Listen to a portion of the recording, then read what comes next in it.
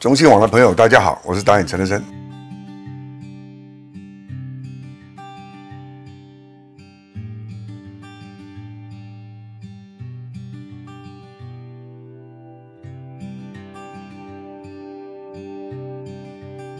因为我经历过一个事，我有一个置景的呃呃同同事，就美术组的，在九六年那个电影《神偷电影》被炸死了。炸死以后，我是不想做电影的，我想离开了。就是其中戏里面的演员杨采妮送了本书给我，然后叫《多情多风波》，我看了有很大感受。杨采妮就给我留了封信，说我们为了一个死者应该把这个戏拍完的。我就觉得原来写书可以帮到人的，所以我从那个时候开始，快乐不快乐的我都写，啊，把它每一次都把它记起来，再把它当日记。有一天累积够了，我就写这本书。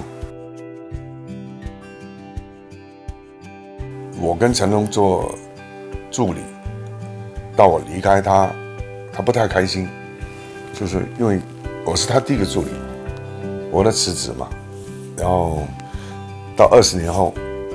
他找我当导演，我又做成朋友，从一个同事，呃，变成一个员工，变成一个合作的伙伴。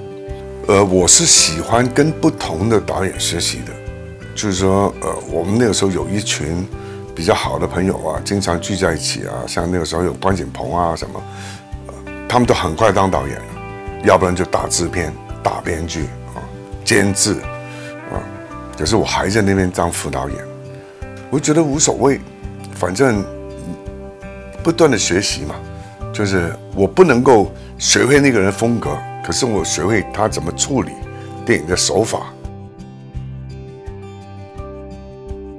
我们那个年代其实就是我们都很付出，说直白一点，就把命都豁出去。有时候我是拍了一个电影是叫《卫斯理传奇》，我们到了一个。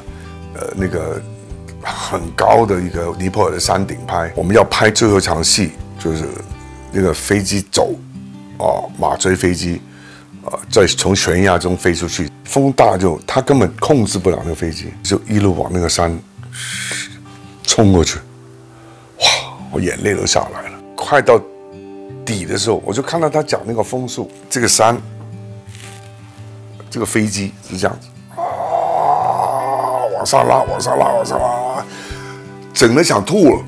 这个离心力啊，啊，就这样过了。我们那个年代成功就是这样子，每个人都只要我的名字打在那个字幕上，哪怕我从长记开始，这个电影就是我有份，我要把它做好。其实大湾区呢，大部分讲粤语的。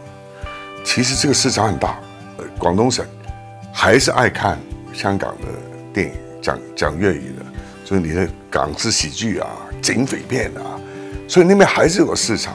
其实很多呃北京的院线、呃上海的院线都播一些广东话的港产片原版的了，所以这个是一个好好的方向。你打动观众吧，英雄本色，你记得他的动作场面吗？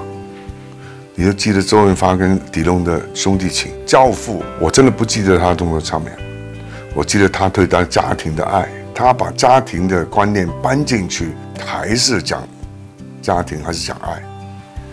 伟大的电影都是这样子，不要蹭流量，流量没有用，实力会不会演啊？上上少一点综艺，好好的拍戏。